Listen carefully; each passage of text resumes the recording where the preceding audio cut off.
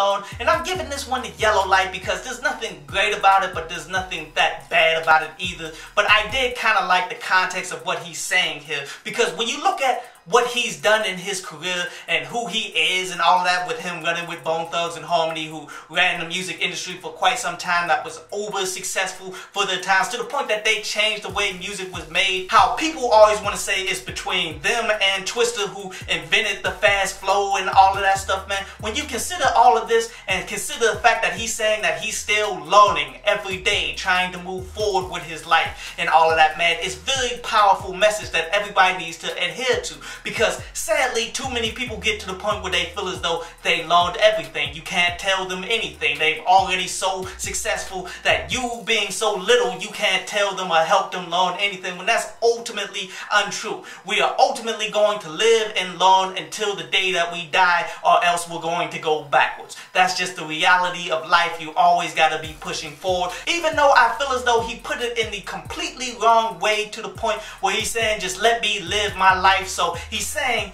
let me go ahead and make my mistakes so I can learn from trial and error and continue to move forward that way. And that's honestly the worst way to learn. Like if you have to do it, you have to do that. But yet if you got any tools that you can learn from other people's mistakes or you can go ahead and research something so you won't have to commit these mistakes that's going to set you back for quite some time that may mess you up as he's saying that he's seen people go completely mad and stuff, man. Then you should take that information and run with it, dude no point in committing the same problems that everyone else is doing when we got all of these things out here to tell us that we don't have to do that. Like, live in this current generation instead of trying to do things trial by error. As these things he's talking about that he's learning lessons and stuff from is ultimately the pain that comes with life, that comes with being in the music industry with people trying to get over on you. All of the betrayal that people was once close to you are doing towards you. Seeking out his purpose in life and finding his own religion to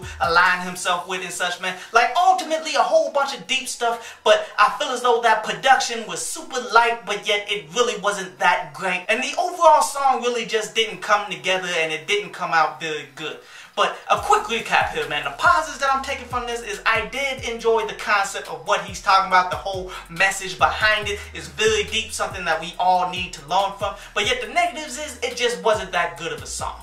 But this concludes today's review, man. And now we're going to jump to a brief instrumental from underground producer Corner Boy Music before we take some of your questions.